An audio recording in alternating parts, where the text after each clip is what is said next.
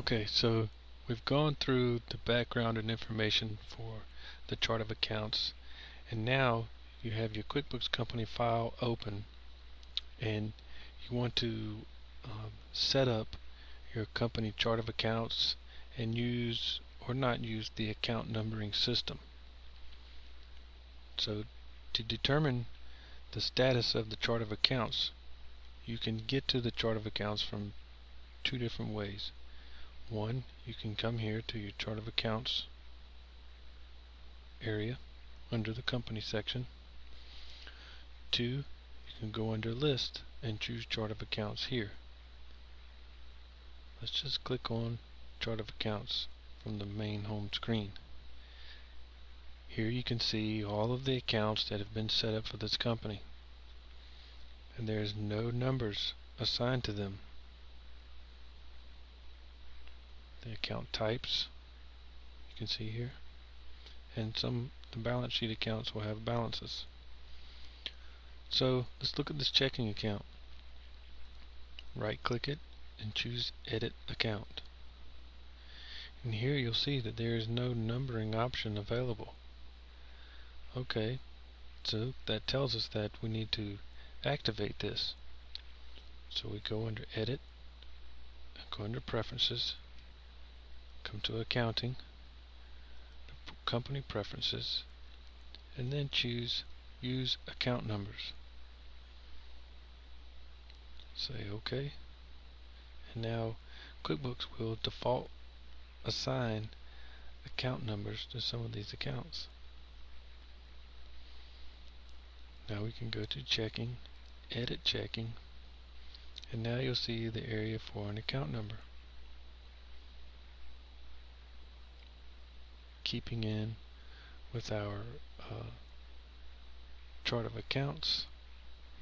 If we're going to do a simple account numbering say three digits then maybe we assign checking to 101 say save and closed. And now you see checking is 101 but suppose there were multiple locations and or departments. And following a chart of accounts numbering system suppose you said well I want to be able to run reports then track by location and department. So 101 may be the checking account number and then 400 would be the location number and then the department number may be an additional amount.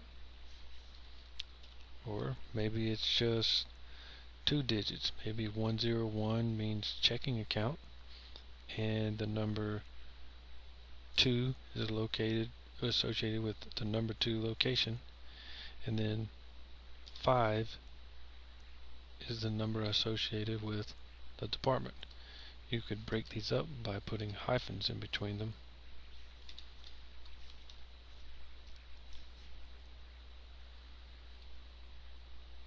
Now you have your 101-25. You can also um, edit it so that checking becomes the main account and then you can create a new account as a sub account.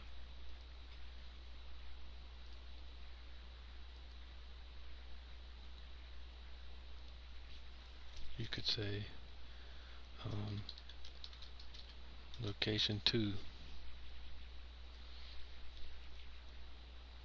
you have to say this is a sub account of checking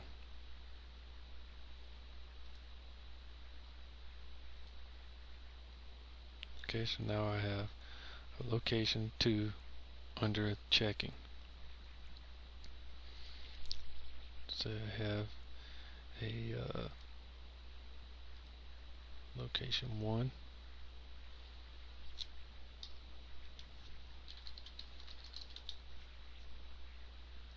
sub account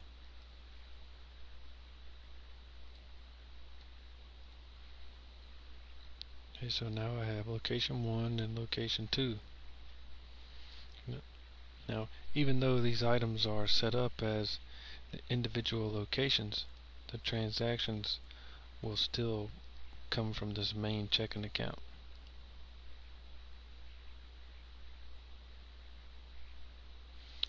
And that concludes the tutorial on QuickBooks and Chart of Accounts.